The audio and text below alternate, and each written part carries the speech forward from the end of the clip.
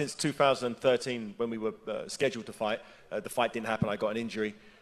I've always wanted that fight, and I've seen him go from strength to strength. He's got better and better, and his reputation's got up there. He's the lineal heavyweight champion of the world. So many people believe he's number one.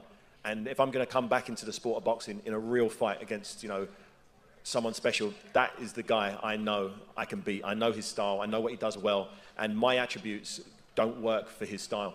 And uh, I think him and his team know that. I think maybe they think I'm a little old, so they probably will take the fight.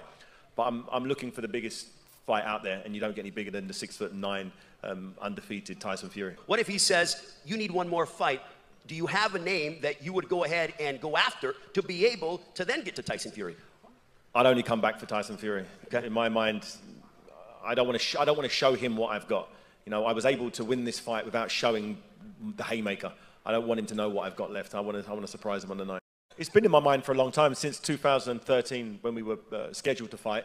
Uh, the fight didn't happen. I got an injury. I've always wanted that fight, and I've seen him go from strength to strength. He's got better and better, and his reputation's got up there. He's the lineal heavyweight champion of the world. So many people believe he's number one.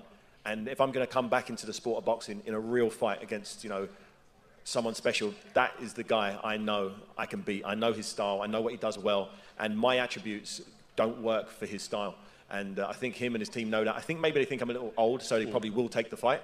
But I'm, I'm looking for the biggest fight out there, and you don't get any bigger than the six foot nine um, undefeated Tyson Fury. What if he says, you need one more fight? Do you have a name that you would go ahead and go after to be able to then get to Tyson Fury? I'd only come back for Tyson Fury. Okay. In my mind, I don't want to. Sh- I don't want to show him what I've got. You know, I was able to win this fight without showing the haymaker. I don't want him.